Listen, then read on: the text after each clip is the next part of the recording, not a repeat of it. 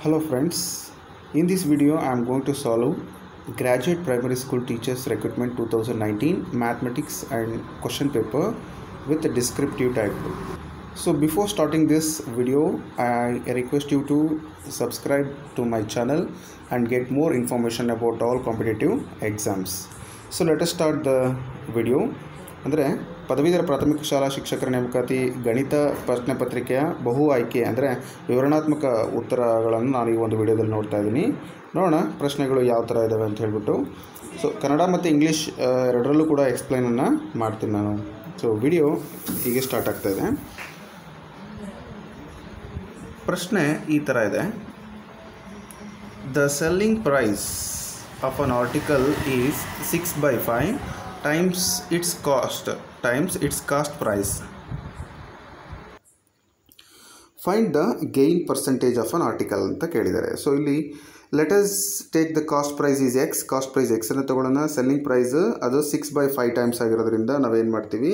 So take six by five means ಅದನ್ನು ನಾವು six X by five ಅಂತ ಬರ್ಕೊಂಡಿದ್ದೀನಿ next ಅದೇ ರೀತಿ ಗೈನ್ ಏನಾಗುತ್ತೆ ಅವಾಗ? ನಮ್ಗೆ ಗೊತ್ತು S P minus C P ಅಂತ ಆಗುತ್ತೆ. ಸೊ ನೆಕ್ಸ್ಟ್ ಅದನ್ನು ನಾವು ಬರ್ಕೋಬೇಕಾದ್ರೆ ಎಸ್ ಪಿ ಅಂದರೆ six by six X by five minus X ಆಗುತ್ತೆ. ಕಾಸ್ಟ್ ಪ್ರೈಸ್ ಎಕ್ಸನ್ನು ತೊಗೊಂಡಿದ್ವಿ. ಸೊ ಇದನ್ನು ಸಾಲ್ವ್ ಮಾಡಿದರೆ ಗೈನ್ ಏನು ಬರುತ್ತೆ ನಮಗೆ?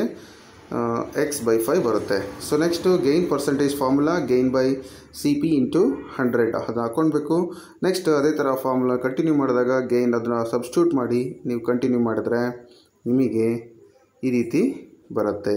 ಸೊ ಎಕ್ಸ್ ಎಕ್ಸ್ಗೆ ಏನಾಗುತ್ತೆ? ಕ್ಯಾನ್ಸಲ್ ಆಗುತ್ತೆ. ಫೈವಿಂದ ಹಂಡ್ರೆಡ್ ಕ್ಯಾನ್ಸಲ್ ಮಾಡಿದಾಗ ಟ್ವೆಂಟಿ ಪರ್ಸೆಂಟ್ ಬರುತ್ತೆ. ಸೊ ಗೈನ್ ಪರ್ಸೆಂಟೇಜ್ ಏನಾಗುತ್ತೆ? ಟ್ವೆಂಟಿ ಪರ್ಸೆಂಟ್ ಆಗುತ್ತೆ. ಸೊ ಇಷ್ಟು ಕ್ಲಿಯರ್ ಆಗಿ ಈ ಒಂದು ಪ್ರಶ್ನೆ ಉತ್ತರ ಇದೆ. ಭಾಳ ಈಸಿಯಾಗಿ ನೀವು ಆನ್ಸರನ್ನು ಮಾಡ್ಬೋದು. ಸೊ ಅದೇ ಥರ ನೆಕ್ಸ್ಟ್ ಕ್ವಶನನ್ನು ನೋಡೋಣ.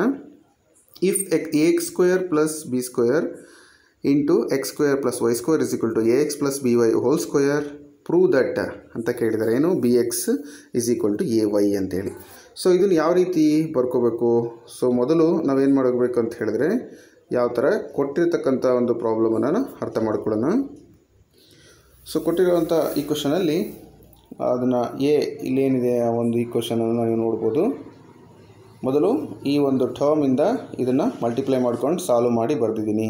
A into x square a x square a into y square a y square b square into x square b square x square b square into y square b square y square ಆಗುತ್ತೆ. So ಆ ರೀತಿ ಮಾಡಿ next ಇದನ್ನು ನಾನು a plus b whole square ಫಾರ್ಮುಲಕ್ಕೆ ಬರೆದಿದ್ದೀನಿ. So ಈ ರೀತಿ. So ನಿಮಗೆ ಗೊತ್ತಾಗಿರ್ಬೋದು ಯಾವ ಥರ ಅಂತ. ನೆಕ್ಸ್ಟು ಇಲ್ಲಿ ಏನಾಗ್ತಾಯಿದೆ ಗಮನಿಸಿ. ಈ ಒಂದು ಟರ್ಮ್ ಇಲ್ಲೂ ಇರೋದ್ರಿಂದ ಮೈನಸ್ ಕ್ಯಾನ್ಸಲ್ ಆಗುತ್ತೆ. ಹಾಗೆ ಈ ಒಂದು term b square y square ಅದು ಕೂಡ ಕ್ಯಾನ್ಸಲ್ ಆಗುತ್ತೆ. ಮಿಕ್ಕಿದ್ದು ನಾನು ಹಾಗೆ ಬರೆದಿದ್ದೀನಿ. ಈ ಟರ್ಮನ್ನು ನಾನು ಈ ಕಡೆಗೆ ಶಿಫ್ಟ್ ಮಾಡ್ಕೊಂಡಿದ್ದೀನಿ. ಸೊ ದಟ್ ಮೀನ್ಸ್ ಈ ಒಂದು ಇಕ್ವೇಷನ್ ನಮಗೆ ಬರುತ್ತೆ. ಆಗ ಇದನ್ನು ನಮ್ಗೆ ಏನಂತ ಬರಿಬೋದು? We can write it as as a minus b whole square so then ಆಗೇನಾಗುತ್ತೆ square it ಅದನ್ನು ಆ ಕಡೆ ಕಳಿಸಿದರೆ ರೂಟ್ ಆಗುತ್ತೆ. ಝೀರೋ ರೂಟ್ ಅಂದರೆ ಹಾಗೆ ಇರುತ್ತೆ. So a y minus b x is equal to zero so ultimate answer ನಿಮಗೆ ಏನು ಬೇಕೋ ಅದು ಬಂತು. ಸೊ ಅವರು ಪ್ರೂವ್ ದಟ್ ಅಂತ ಕೇಳಿದ್ರಲ್ವಾ? ಸೊ ಹಾಗಾಗಿ ನಾವು ಅದನ್ನು ಮಾಡಿದ್ವಿ. ಈ ಸ್ಕ್ರೀನನ್ನು ನೋಡ್ಬೋದು. ನೀವು ಹಾಗೆ ಅಬ್ಸರ್ವ್ ಮಾಡಿ ಮತ್ತು ಬರ್ಕೊಂಡು ಪ್ರಾಕ್ಟೀಸ್ ಮಾಡಿ. Next question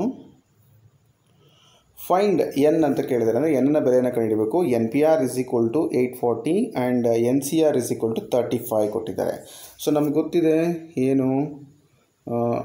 N C r is equal to n P r by r factorial ಅಂಥೇಳಿ ಸೊ ಆರ್ ಫ್ಯಾಕ್ಟೋರಿಯಲ್ನ ತೊಗೊಂಡ್ರೆ ನಾವು n P r by n C r ಇದನ್ನು ಆ ಕಡೆ ಶಿಫ್ಟ್ ಮಾಡ್ಬೋದಲ್ವ ನಾವು? ಅದಕ್ಕಾಗಿ. ಸೊ ನೆಕ್ಸ್ಟು ಈ ಒಂದು ಫಾರ್ಮುಲಾಕ್ಕೆ ಕೊಟ್ಟಿರೋ ವ್ಯಾಲ್ಯೂನ ಸಬ್ಸ್ಟ್ಯೂಟ್ ಮಾಡ್ತಾ ಇದ್ದೀನಿ. Eight forty by thirty five ಆಯಿತು. ಸೊ ಅದನ್ನು ನೀವು ಕ್ಯಾನ್ಸಲ್ ಮಾಡಿದರೆ ಟ್ವೆಂಟಿ ಫೋರ್ ಆನ್ಸರು ಬರುತ್ತೆ. ಈ ಒಂದು ಟ್ವೆಂಟಿ ಫೋರ್ ಆನ್ಸರ್ ಬಂದಮೇಲೆ ನೀವೇನು ಮಾಡಬೇಕಾಗುತ್ತೆ ಇಲ್ಲಿ? Two r factorial is equal to twenty four ಆಗುತ್ತೆ. ಅಂದರೆ means four three two one so twenty ಫೋರನ್ನು factorise ಮಾಡಿದ್ದೀನಿ. Four into three into two into one ಆಯಿತು. ಸೊ ಅಂದರೆ ಇಲ್ಲಿ ಆರ್ ಇಸ್ ಈಕ್ವಲ್ ಟು ಏನಾಗುತ್ತೆ? ಫೋರ್ ಅಂತ ನಿಮಗೆ ಗೊತ್ತಾಯಿತು. ಸೊ ಕಂಟಿನ್ಯೂ ಮಾಡೋಣ. N P r is equal to ಏನಾಯಿತು? ಏಯ್ಟ್ ಫಾರ್ಟಿ ಅವರೇ ಕೊಟ್ಟಿದ್ದರು ಆರ್ ಅಂದರೆ ನಮಗೇನು? ನಾಲ್ಕು. ಸಬ್ಸ್ಟ್ಯೂಟ್ ಮಾಡಿದ್ದೀನಿ N factorial by N my N minus four factorial ಅದನ್ನು ಫೋರ್ ಟೈಮ್ಸ್ ತಗೊಳ್ಳೋದಾದರೆ ನಾವು ಈ ರೀತಿ ಬರ್ಕೋಬೋದು. N into N minus one into N minus two into N minus three ಅಂದರೆ seven three four six five four ಅಲ್ಲಿಗೆ N is equal to seven ಅನ್ನೋದು ನಮಗೆ ಈಸಿಯಾಗಿ ಗೊತ್ತಾಯಿತು. ಸೊ ಈ ಥರ ಪ್ರಾಬ್ಲಮನ್ನು ಸಾಲ್ವ್ ಮಾಡಬೇಕು.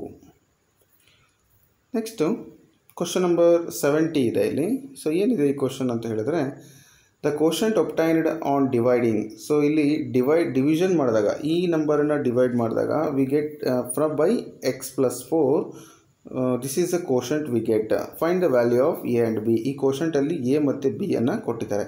ಅಂದರೆ ಮೊದಲು ನಾವೇನು ಮಾಡೋಣ ಅಂದರೆ ಇಲ್ಲಿ ಈ ನಂಬರಿಂದ ಇದನ್ನು ಡಿವೈಡ್ ಮಾಡೋಣ. ನಮಗೆ ಈ ಥರದ ಒಂದು ಇಕ್ವೇಷನ್ ಬರುತ್ತೆ. ಅಲ್ಲಿ ಕೋಎಫಿಷಿಯಂಟ್ ಆಫ್ ಎ ಮತ್ತು ಕೋಎಫಿಷಿಯಂಟ್ ಆಫ್ ಬಿ ಏನು ಬರುತ್ತೆ? ಸೊ ಅದು ಎ ಮತ್ತು ಬಿ ವ್ಯಾಲ್ಯೂ ಇನ್ನು ರಿಮೈಂಡರ್ ಕೂಡ ಬರುತ್ತೆ. So we can find that easily ನೋಡೋಣ ಹೇಗೆ ಅಂತೇಳಿ. ನಾನು ಆಗಲೇ ಹೇಳಿದೆ ಡಿವೈಡ್ ಮಾಡೋದು ಹೇಗೆ ಅಂತ. ಎಕ್ಸ್ ಪ್ಲಸ್ ಫೋರಿಂದ ಅದನ್ನು ಹಾಗೆ ಬರ್ಕೊಂಡು ಡಿವೈಡ್ ಮಾಡ್ತೀನಿ. ಎಕ್ಸ್ ಕ್ಯೂಬ್ ತೊಗೊಂಡ್ರೆ ಈ ಥರ ಬರ್ತದೆ. ಮೈನಸ್ ವ್ಯಾಲ್ಯೂ ಪ್ಲಸ್ ಇರೋದನ್ನ ಮೈನಸ್ ಮಾಡ್ಕೊಳ್ಳೋಣ. ಸೊ ಹಾಗೆ ಡಿವೈಡ್ ಮಾಡ್ತಾ ಹೋದರೆ ಮೊದಲನೇ ಸ್ಟೆಪ್ಪಲ್ಲಿ ಈ ಥರ ಬರ್ತದೆ. ನೆಕ್ಸ್ಟು ಅದೇ ಥರ ನೀವು ಡಿವೈಡ್ ಮಾಡ್ತಾ ಹೋಗಿ ಫರ್ದರ್ ನಿಮಗೆ ಅಲ್ಟಿಮೇಟಾಗಿ ಐದು ಏನಾಗುತ್ತೆ ರಿಮೈಂಡರ್ ಬರುತ್ತೆ ನಿಮಗೆ. ಸೊ ನೆಕ್ಸ್ಟು ಅದರಲ್ಲಿ ಇದನ್ನು ರಿಮೈಂಡರ್ ಅಂತ ಈಸಿಯಾಗಿ ಬರದೆ ಕೋಶಂಟ್ ಯಾವ್ದು ಬರುತ್ತೆ ನೋಡಿ. X cube plus six x square plus eleven x plus six ಅಂತ ಬಂದಿದೆ. ಇದನ್ನು ನೀವು ಅದಕ್ಕೆ ಪಕ್ಕದಲ್ಲಿ ಬರ್ಕೊಂಡು ಸರ್ ಮ್ಯಾಚಿಂಗ್ ಮಾಡಬೇಕು. ಆಗ ಆನ್ಸರ್ ಗೊತ್ತಾಗುತ್ತೆ. ಈಗ ನೋಡಿ ಇದು ಅವ್ರು ಕೊಟ್ಟಿರೋವಂಥದ್ದು. ನಾವು, ಅದ ಸಾರಿ ನಮಗೆ ಬಂದಿರೋವಂಥದ್ದು ಇದು. ಇದು ಅವ್ರು ಕೊಟ್ಟಿರೋದು ಗಿವನ್ ಇದು.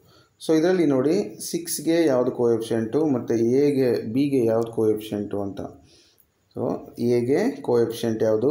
ಸಿಕ್ಸ್ ಅಂದರೆ ಮೈನಸ್ ಸಿಕ್ಸ್ ಬಿಗೆ ಯಾವುದು?